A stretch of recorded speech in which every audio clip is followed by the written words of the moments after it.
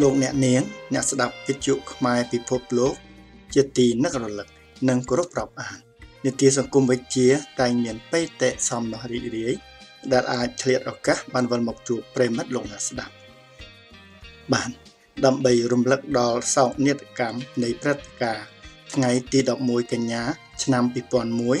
9/11នីតិយើងបានលើកយកអត្ថបទមួយឈ្មោះវរៈបរោះម្នាក់ បានប្រុងប្រៀបពលីជីវិត ដើម្បីជួយសង្គ្រោះជីវិតមនុស្សរាប់ពាន់នាក់ដែលជាអំណោយរបស់មិត្តអ្នកស្ដាប់ម្នាក់នៅរដ្ឋ Virginia ដែលលោកបានដកស្រង់ចេញពីទំព័រ website Yahoo ចុះថ្ងៃទី10ខែកញ្ញា ឆ្នាំ2011និងប្រែជាភាសាខ្មែរដែលខ្ញុំបាន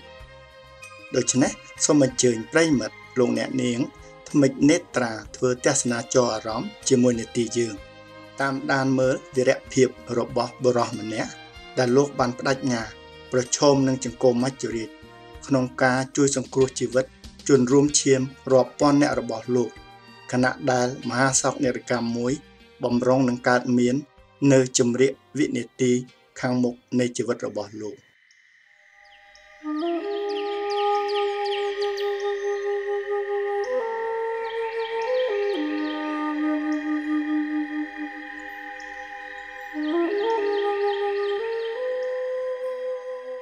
ទោះបីថ្ងៃមានមហាសោកនាដកម្មដូចជាថ្ងៃទី11ខែកញ្ញា ឆ្នាំ2001 9/11ដែលមានព្រះអាទិត្យរះចាំងចែងក៏មានអភូតហេតុមួយ ដែលមិនដឹងជាមុន បានកើតមានឡើងដែរហើយលោក Richard Rescola ក៏ជាវីរៈបរិះម្នាក់ចំណោមវីរៈជនក្លាហានទាំងអស់ក្នុងបេសកកម្មជំលះមនុស្សរាប់ពាន់នាក់ចេញពីមជ្ឈមណ្ឌលហិរញ្ញវត្ថុដ៏ធំសម្បើមមួយ Morgan Stanley លោក Richard Rescola មានអាយុ62ឆ្នាំចូលនិវត្តន៍និងជាអតីតវីរៈសេនីយ៍ឯកទទួលគ្រឿងអិសរិយយសជាច្រើននៃកងទ័ពសហរដ្ឋអាមេរិកលោក Richard Rescola បានយកចិត្តទុកដាក់ជាខ្លាំងអំពីសន្តិសុខរបស់មជ្ឈមណ្ឌលពាណិជ្ជកម្មពិភពលោក World Trade Center នៅក្នុងទីក្រុង New York ជាច្រើនឆ្នាំមកហើយមុនពេលមានការវាយប្រហារ លើមជ្ឈមណ្ឌលពាណិជ្ជកម្មពិភពលោកនៅឆ្នាំ1993ក្នុងគណៈដែលលោកនៅបម្រើការជាមួយក្រុមហ៊ុនការពារសន្តិសុខមួយលោកបានទៅជួបអាជ្ញាធរមានសមត្ថកិច្ចនៅប្រលានយន្តហោះ New York និង New Jersey ដោយបានផ្ដល់យោបល់ប្រាប់គេពីភាពងាយទទួលគ្រោះភ័យខាងសន្តិសុខរបស់អគារចតរថយន្តនៃមជ្ឈមណ្ឌលពាណិជ្ជកម្មពិភពលោក World Trade Center Garage យោងតាម James Stewart អ្នកសរសេរប្រវត្តិរូបបានថ្លែងថាលោក Richard Rescola បានត្រូវអាជ្ញាធរមានសមត្ថកិច្ចទាំងនោះប្រាប់មកវិញថាគិតគូរតែពីក្រុមហ៊ុនលោកចុះកុំគិតពីបញ្ហារបស់អ្នកដទៃទោះបីគេមិនយកចិត្តទុកដាក់ពីការព្រួយបារម្ភរបស់លោកយ៉ាងណាក៏ដោយក៏លោកនិង Dan Hill មិត្តរួមអាវុធនៅសង្គ្រាមវៀតណាមម្នាក់របស់លោកមិនដែលឈប់គិតព្រួយបារម្ភពីភាពទន់ខ្សោយ ធូររលុងនៃកិច្ចការពារសន្តិសុខនិងភារវកម្មឡើយបន្ទាប់ពីក្រុមមួយបានរំលាយខ្លួនចូលរួមជាមួយ នៅឆ្នាំ1997លោក Richard Rescola បានទទួលតំណែងជានាយកផ្នែកសន្តិសុខនៃមជ្ឈមណ្ឌលហិរញ្ញវត្ថុ Morgan Stanley ដែលលោកមានភារកិច្ចជាអ្នកប្រុងប្រយ័ត្នរក្សាគាំពារសន្តិសុខទោះបីមានការរំខានដល់ភាពមមាញឹកនៃមជ្ឈមណ្ឌល ហិរញ្ញវត្ថុ Morgan Stanley យ៉ាងណាក៏ដោយក៏លោកនៅតែទទូចទាមទារឲ្យមានការវឹកហាត់ជំលះមនុស្សមួយឆ្នាំពីរដង ដោយឲ្យមនុស្សរត់ចុះតាមជណ្ដើរពីជាន់ទី22នៃអគារខាងត្បូង ដែលជាអគារមួយនៃអគារទាំងពីរដែលភារវកបានវាយប្រហារជាលទ្ធផល នៅថ្ងៃទី11ខែកញ្ញា ឆ្នាំ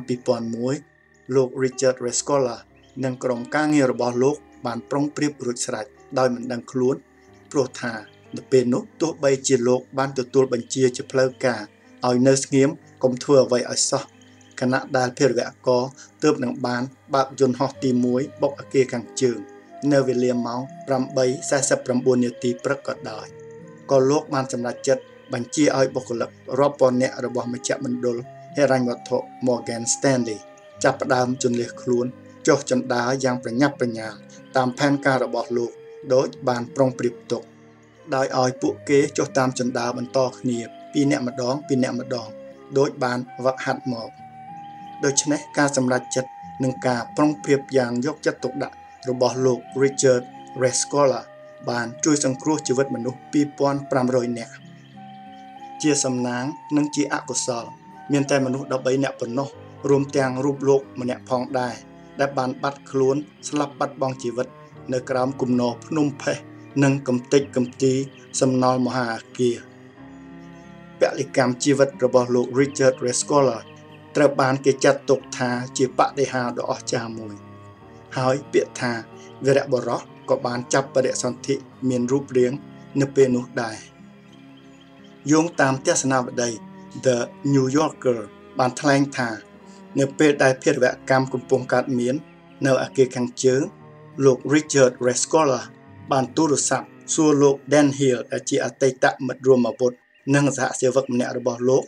ដើម្បីសួរពីព្រឹត្តិការណ៍និងព័ត៌មានថ្មីថ្មី ក្នុងគណៈដែលលោកកំពុងតែដឹកនាំបង្ហាញផ្លូវតាមសម្លេងអុកឃោសនៈស័ព្ទដល់បុគ្គលិករាប់ពាន់នាក់របស់មជ្ឈមណ្ឌលហិរញ្ញវត្ថុ Morgan Stanley ឲ្យជន់លៀសខ្លួន ក្រោយមកលោក Dan Hill បានរំលឹកការចងចាំយ៉ាងច្បាស់របស់គាត់ថា នៅពេលដែលតាក់ទងតាមទូរស័ព្ទលោក Richard Rescola បាននិយាយមួយមួយ មានសម្លេងស្មើធម្មតា និងមិនមានការស្រែកជំទាវបែបអាសន្នទាល់តែសោះហើយនៅពេលដែលកំពុងតែនិយាយជាមួយគ្នា ស្រាប់តែគាត់ឮសូរលោក Richard Rescola បែរជាច្រៀងចម្រៀងស្នេហាជាតិ ដែលបង្កប់ទៅដោយភាពកំរើករំជួយចិត្តជាខ្លាំងដែលហាក់ដូចជាសញ្ញាមួយ បានប្រាប់គាត់ឲ្យដឹងថា ជីវិតរបស់លោកនឹងដល់ទីបញ្ចប់ នៅវិនាទីខាងមុខដ៏ឆាប់នេះហើយទស្សនាវដ្តី The New Yorker បានថ្លែងដែរថា លោក Richard Rescola ក៏បានទូរស័ព្ទទៅប្រាប់អ្នកស្រី Susan ជាភរិយាដែរថាបើសិនបើមានហេតុការណ៍អ្វីកើតឡើងដល់រូបបង បងចង់ប្រាប់អូនថាបងមិនដែលបានសប្បាយចិត្តខ្លាំងមែនទែនដូចថ្ងៃនេះទេ យើងអាចមើលតាមទំព័រ website ឃើញរូប Richard Rescola ព្រាកព្រាកនាវិនាទីចុងក្រោយ នៅជាន់ទី10លោក Trevor កូនប្រុសអាយុ35ឆ្នាំរបស់លោក Richard Rescola បាននិយាយថាគ្មានអ្វីចម្លែកទេ ដែលឪពុកខ្ញុំលោកបានពលិជីវិត ក្នុងពេលបំពេញភារកិច្ច ខ្ញុំស្គាល់ឪពុកខ្ញុំច្បាស់ណាស់គឺគាត់នឹងជាមនុស្សចុងក្រោយដែលត្រូវចេញព្រោះភារកិច្ចនេះនៅក្រោមបញ្ជាការរបស់គាត់គាត់នឹងព្យាយាមជួយគេឯងគ្រប់គ្នាឲ្យបានចេញរួចអស់ជាមុនសិនទើបគាត់ព្យាយាមចេញចុងក្រោយគេបង្អស់នេះជានិស័យពីកំណើតនិងវីរភាពរបស់លោក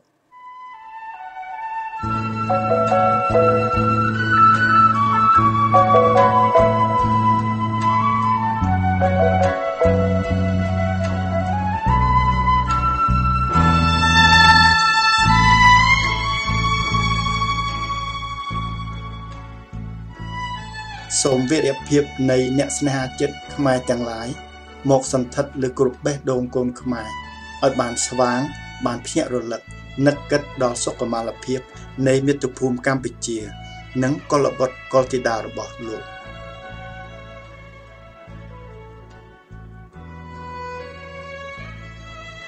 លោកអ្នកនាងអ្នកស្ដាប់ជាទីមេត្រីនេតិសង្គមវិទ្យានៅពេលនេះចប់តែប៉ុណ្ណេះ នេតិយើងសូមបង្អោនកាយគ្រប់លាសូមអរគុណចំពោះការយកចិត្តទុកដាក់ស្ដាប់និងសូមសន្យា ស្រាវជ្រាវរើសរកយកអត្ថបទល្អល្អមកអានជូនស្ដាប់នៅសប្តាហ៍ក្រោយៗទៀតខ្ញុំបាទខេងខេមរៈវិទ្យុខ្មែរពិភពលោក